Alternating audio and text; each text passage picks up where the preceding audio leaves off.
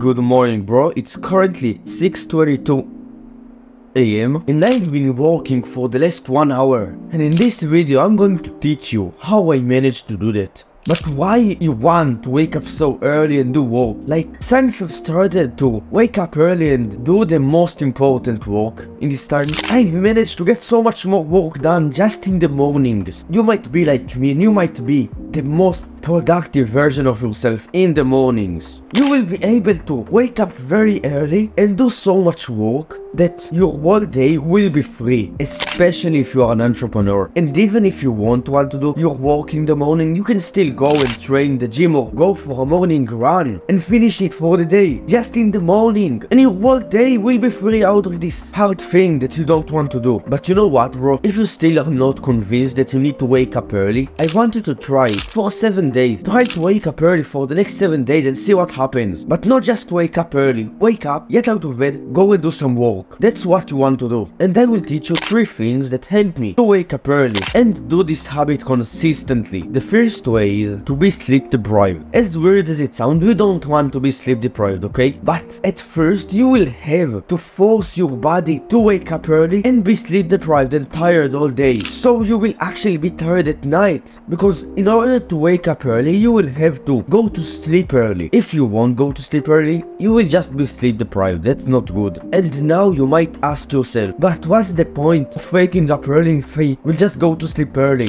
I will have the same hours of day. But you are way more productive after waking up. Before sleep, you won't only be less productive, you will also damage your sleep because you will get stimulated by work before sleep. That's why you want to do work after waking up and not before that. The second thing is, the day before you wake up early, you want to plan what you are going to do. So you won't wake up early and just be sleepy and you will want to go back to sleep because you don't really have an important thing to do. You want to plan what you are going to do in advance and make it like a really important work. So you won't just wake up and say to yourself, I don't really want to work right now. I'm going back to sleep. You will have to get out of bed because you will have a very important work to do and you can do it and you can also just make a contract with yourself like on a piece of paper. Write down i am going to wake up early tomorrow. That's what i learned from the book atomic habits and that's like a really good thing that you can do. Just promise to yourself on a piece of paper. I don't know why but when you make a contract with yourself you can like take like 20 bucks and make a contract that you will donate these 20 bucks to a charity that you hate. If you want to wake up early you will have more friction to not get out of bed as soon as you wake up. And that's the third thing. To get out of bed as soon as you wake up. If you want to get out of bed your chances of getting back to sleep will be a lot